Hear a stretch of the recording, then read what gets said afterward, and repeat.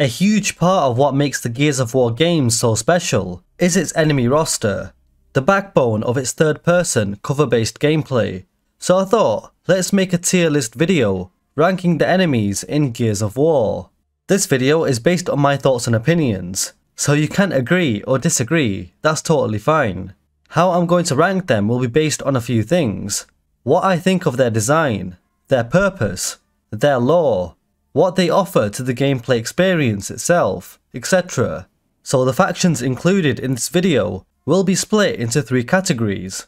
The Locust races, the Hollow creatures, and the Lambent. Now this tier list will not include all of the Locust drone and race variations, because there are just so many, like the Beast Riders, the Miners, the Spotters, the Grenadier Elites, the Theron Sentinels, the Hunters, the Snipers, you get the picture. But I will include some notable variants, like the Armoured Kantus and the Maulers. And if you do want to see an updated version later down the line, for the Swarm, etc., then I will create a video on that as well, once that enemy faction is properly fleshed out in upcoming games. So with all that clarified, I'm your host Abz, and here is the ultimate Gears of War enemy tier list. Without further ado, let's get into this. We begin with the Locust races, and therefore we gotta start with the bread and butter of the Locust Horde, the drones. I love the Locust drones. Their unique design and especially their voice lines, so iconic.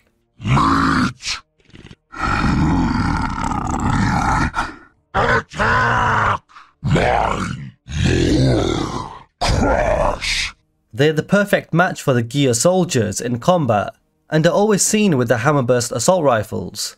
If this was a ranking just for the standard Locust drone, I would probably just give it the S tier, but because there are so many Locust drone variations, specializing in so many different forms of combat, that can change the gameplay experience, depending on which type of drone you encounter, that pushes them up to S plus tier.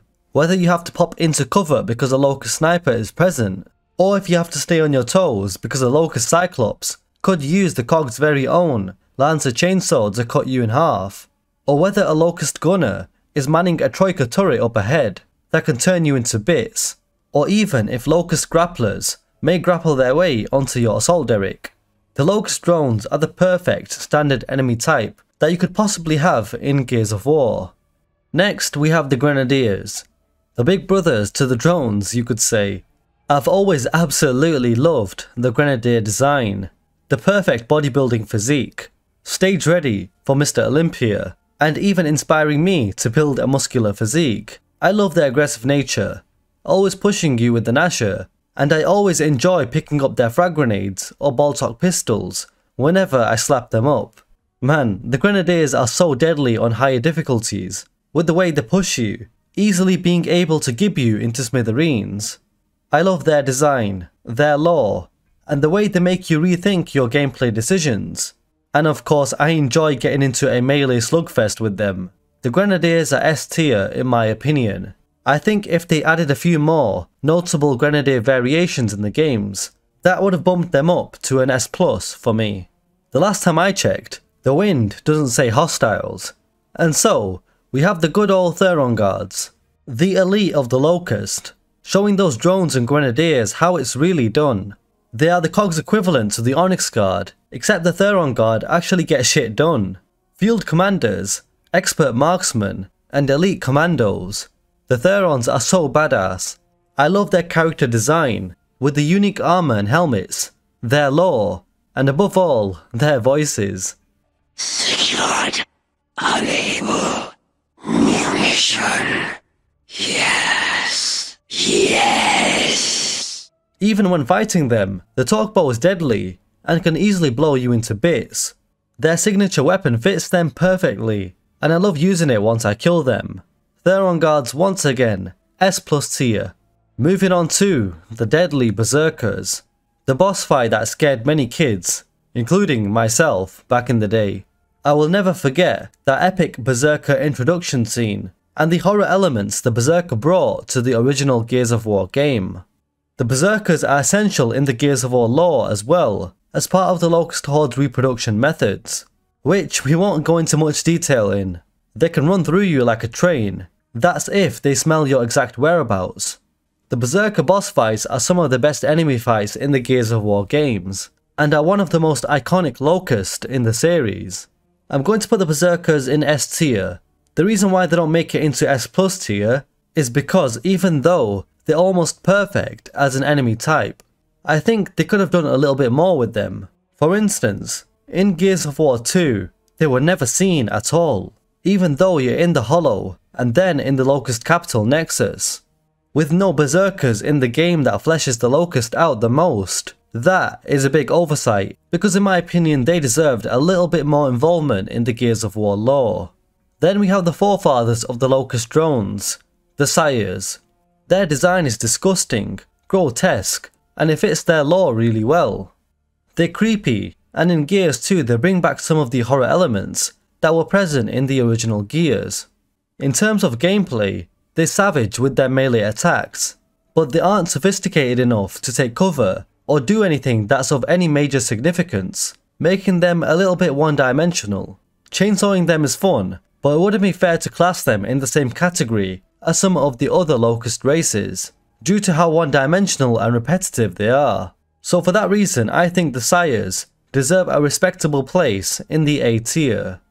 And then we move on to the religious officials of the Locust Horde, the Kantus priests. The Kantus just epitomise everything to do with the Locust Horde, and then some. When you encounter them for the first time in Gears 2, you hear their battle chants, and you immediately know that these guys are field commanders and medics. The way they heal downed Locust drones, and seeing the drones light up as they're being healed, is such a cool concept, forcing you to try and take the Kantus out ASAP. But the Kantus has skills of its own, tossing ink grenades into your vicinity to intoxicate you and flush you out of cover, as well as shooting with the Gorgon pistol. Their combat isn't as versatile as you think, neither is the troop variety of the Kantus, so I'll put them in the S tier. But I do want to include one Kantus variation, and that is the Armoured Kantus. He will be going into S plus tier without a doubt. Probably one of the most badass Locust designs in the entire franchise, and one of the coolest enemies without a doubt. The Armoured Kantus does everything a normal Kantus does, and more, hence why it gets into the S plus tier. Attacking with dual wielding Gorgon pistols, and rolling into a ball to deal damage to you, thanks to its spiked bullet resistant armour. The only way you can kill them is by using explosive detonations on their mouth, the only part that isn't covered in armour, which they open when healing their downed allies. The Armoured Kantus is as badass of an enemy type as you can possibly get in a Gears of War game. Then we have the big boy boomers, known for their one word, straight to the point voice lines. They're extremely dangerous bullet sponges who pack a punch with their boom shot grenade launchers. Heavy shock troops who are just bigger, fatter, and dumber drones essentially, but they're iconic. I love the boomers, their lore, their armor and design is brilliant through the different boomer variations, but I do think that the AI could be a little bit better over the games. The way they miss boom shots, or when you're standing next to them, they take so long to react, and then they just slap you, so that makes them miss the S plus tier for me. The boomers will go into the S tier, but one boomer variation I want to mention are the maulers, that I believe deserve the S plus tier. I personally love their design even more, with their iconic Mauler helmet and boom shield. I really do enjoy fighting against them, as the Maulers charge towards you with their explosive flail as they flush you out of cover, and they immediately activate their boom shield as you shoot at them. The AI is much smarter, and they are my favourite boomer variant, hence the special mention. Finally, for the Locust races, we have the Ragers. Severely underrated, and underutilized in my estimation. Their design when in their unraged state is nothing too amazing, and they can be killed easily. The Breechshot rifle that they use is unique as well, but here they are just a different locust drone breed.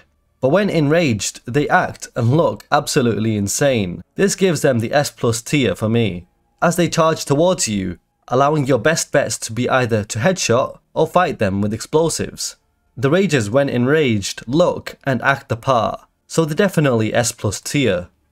Now let's move on to the hollow creatures and rank them accordingly. Firstly, we have the large, bulky, cavalry creatures known as the Bloodmounts who I absolutely adore.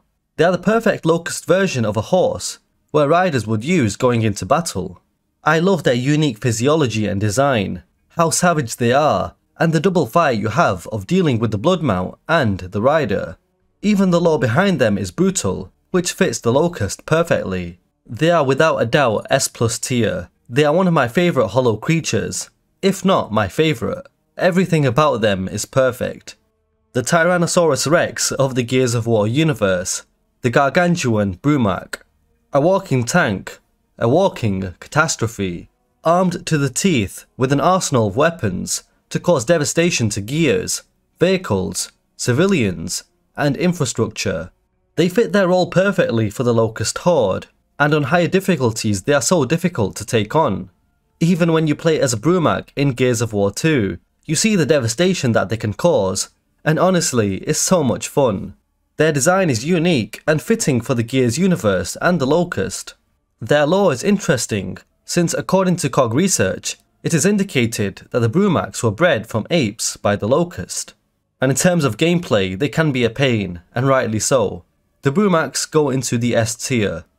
Then we have the Corpsers, the immense spider-like hollow creatures used by the Locust to dig tunnels all across Sera.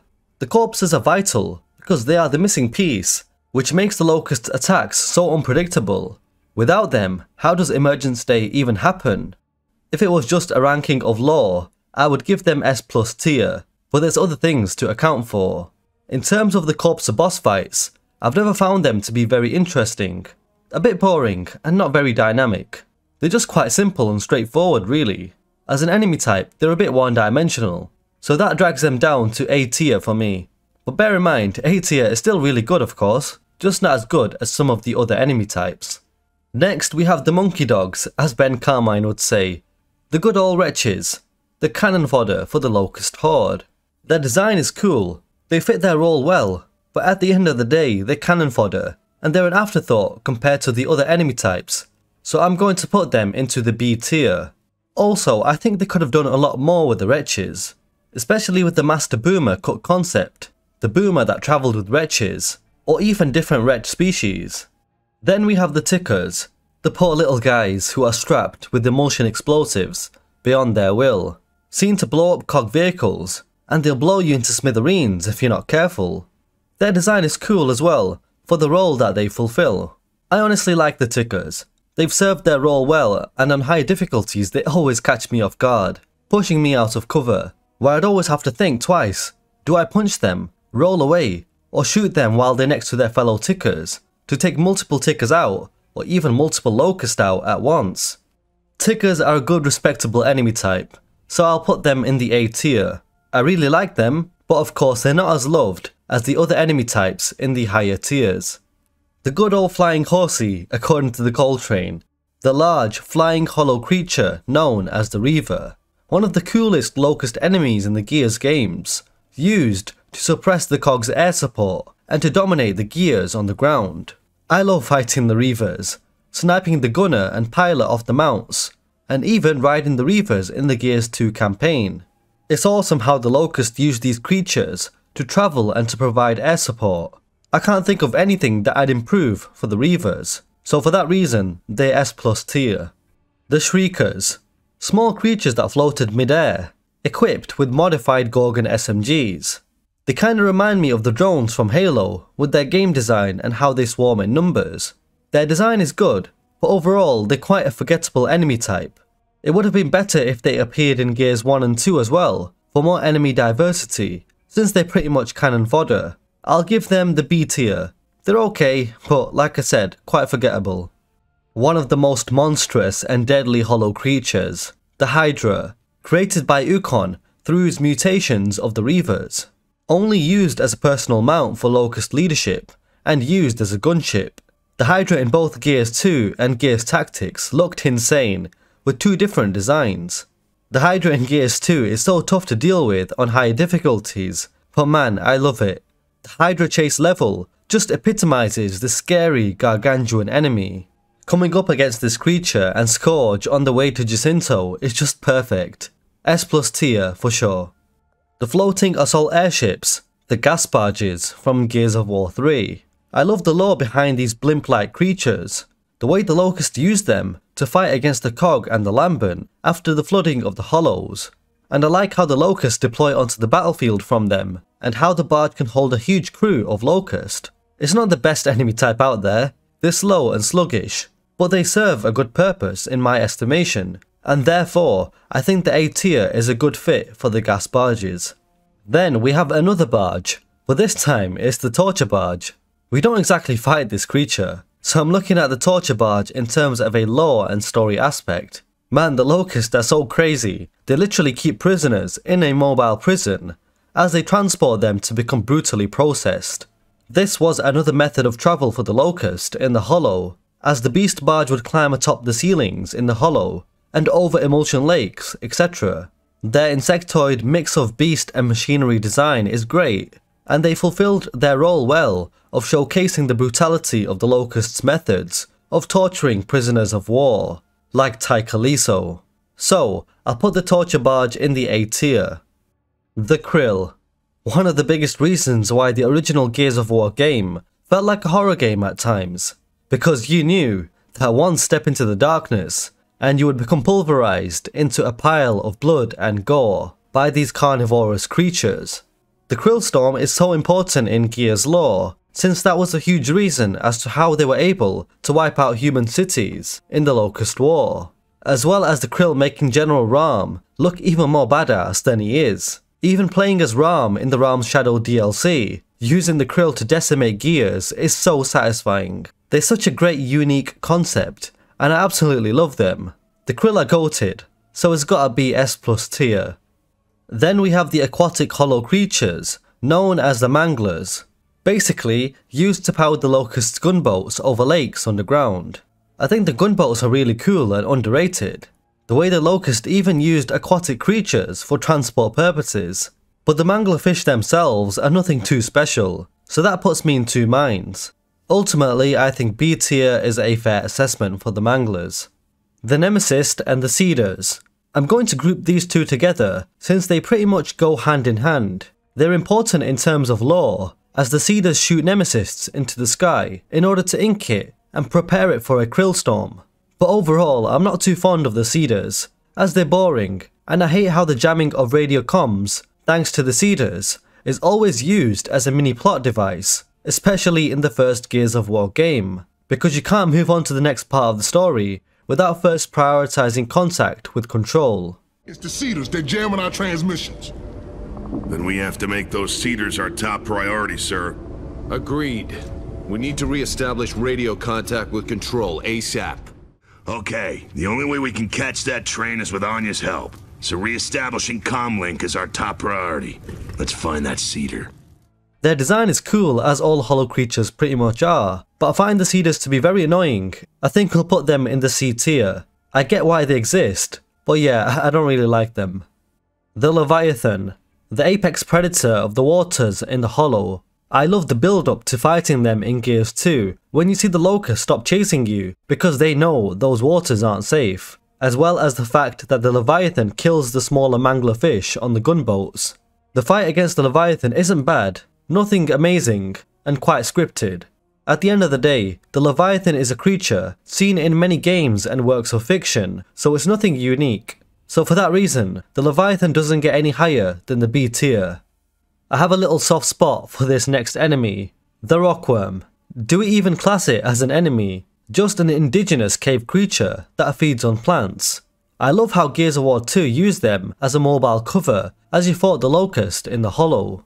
Their tough stone-like hides made them very useful to take cover behind, and it's so interesting how the rockworms were the main food source for the locust horde. I'll go with A tier, because if it was any higher, it would be a bit unfair to the other enemies in the upper ranks.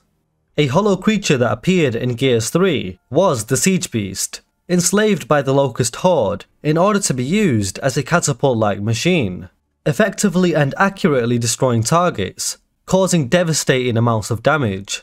Honestly, they're quite forgettable, but it's a badass design and use for the Locust Horde. I think the Siege Beasts deserve a fair place in the B tier. Moving on to the giant centipedes. Centipede-like creatures of Sera that were corrupted by the Locust Horde. They would shoot lightning from their pincers, but to defeat it, you would have to outmaneuver the Cerapede and shoot its tail. Usually, it may take two or more of you to get this job done. Overall, they're a cool enemy. They change the dynamic a little bit, so I don't mind coming up against them, but they're nothing too special, so the B tier will do for the Cerapedes. Next, we have the iconic Riftworm from Gears of War 2. Who even thinks of an idea to have a gargantuan Riftworm deployed to sink cities by burrowing through the planet's crust? It's such a crazy concept, and its execution was perfect. The Riftworm is amazing, and the Riftworm level and its level design is one of the best ever in the Gears of War series. Having to kill it from the inside and chainsaw your way through multiple hearts is just the best. I love the Riftworm and everything about it. S plus tier. Finally for the hollow creatures, we'll just touch upon those stupid creatures that killed our boy, Ben Carmine. We are talking about the Nemesites. Creatures that lived within the Riftworm itself, used as a secondary device to destroy living organisms in the Riftworm's stomach area, but they're just cannon fodder, and they're like wild tickers, but worse, and they were rarely ever encountered, so be a tier for the Nemesites. Moving on to the deadly Lambent faction, so let's rank their enemy variations accordingly. The base, cannon fodder Lambent enemies are the polyps, crab-like creatures, swarming in numbers as they'd spit Imulsion over floors, walls, and so on. The polyps are not really great from a gameplay perspective. They're cannon fodder after all, but they don't have the personality that the wretches have, who are the cannon fodder for the locust side of things. They feel a lot more soulless compared to the wretches, so they have to be ranked lower than them for sure. It will have to be C tier for the polyps. The Lambent Drone. Locust drones infected with lambency, who have such an awesome, iconic design. They act the same as normal locust drones, except when you kill them, they will explode. I think the Lambent drones deserve a good solid spot on the S tier. However, the Lambent Drudge deserves the S plus tier, because the Drudges are drones, who've had a more prolonged exposure to Imulsion. For me, they are the face of the Lambent, showcasing how grotesque and fierce the mutagens can be. They're diverse and dynamic, with the different mutations they can form into, which all change the gameplay experience. I also love how when you chainsaw or retrocharge them, they can still mutate into something far worse. The Drudges epitomise everything about the Lambent. Everything about them is just right, so I love them. The Formers, Lambent humans, who act like zombies in the Gears universe, except they're so fast, agile, they jump very high, and they swarm in large numbers. They're not much of a threat though overall, and die easily, but they're a cool enemy and showcase the results of humans being infected with lambency, which is something the previous games always alluded to prior to Gears of War 3. So it was great to finally see a lambent version of the humans. So I'll put the formers in the A tier. Then, we have the lambent variations of the Locust Butcher Boomers. We have the Gunker, heavy shock troops who lob balls of Imulsion at you, causing devastating amounts of damage as well as attacking close by enemies with their cleaver mutated arm, which actually has a very long range. The Gunkers are a good enemy type, a nice change of pace. They're slow and sluggish, but they're deadly. However, I was quite disappointed that the Gunker is the only Lambent Boomer variant ever seen in Gears 3, or ever seen in any Gears of War game or media so far. Man, they could have done so much more with Lambent Boomer variations. Like how would a Lambent Mauler look? Or a Lambent Flame Boomer? Imagine that. So I think with the Gunker, they didn't really capitalise on what was possible. The Gunkers deserve a spot in the B tier. The Lambent Wretches. They are barely any different to the standard Wretches, so they may as well just be in the same tier, right? So let's put them into tier B, along with their Locust counterparts. Now then, the gargantuan, disgusting formation of a Brumak, horribly turning lambent. The Lambent Brumak was instrumental in Gears lore for the flooding of the Hollows and the plot as Marcus and Dom boarded a Brumak to clear the path in the Hollow, ready for the Lightmass bomb, which the Brumak destroyed anyway. But as a boss fight itself, it wasn't really great. You couldn't do anything except stand there in the Raven and use the Hammer of Dawn and just hope for the best. but I do love the concept behind them, their design, and the purpose behind their use in the story. Tier B is probably fair though. The Lambent Leviathans are pretty much the same as the normal Leviathans really, just a bit deadlier, Lambent invested, and the boss fight is better than the original Leviathan one, since this time you're in a silverback, and there's other Lambent forces to take care of as well, so there's a bit more going on. But with the Lambent Leviathans, there's no major significant change with them, to warrant a better placement than the normal Leviathans. So B tier, just like their non-infected brethren. Finally, we have the Lambent Berserkers. They're Berserkers who have just been dialed up to 100. Throw everything out there, make them almost indestructible, give them the ability to jump, and land powerful ground blows, make them more agile, and leave walls of Imulsion behind them. I don't know if I'll be in the minority for this one, but I actually prefer to fight against the Lambent Berserkers over the Locust ones. Not to mention their design is insane as well. I love everything about them and their indestructible nature. So finally, they'll be going into the S plus tier, whether you like it or not. And so my friends, that concludes the ultimate Gears of War enemy tier list in my most humble of opinions. Let me know your thoughts in the comments below. I want to hear everything of what you may have to say. Drop a like and subscribe if you enjoy the content, and a special thank you to the channel members for your extra support. I really do appreciate it. I'm your host Abz, and as always, I will catch you guys next time.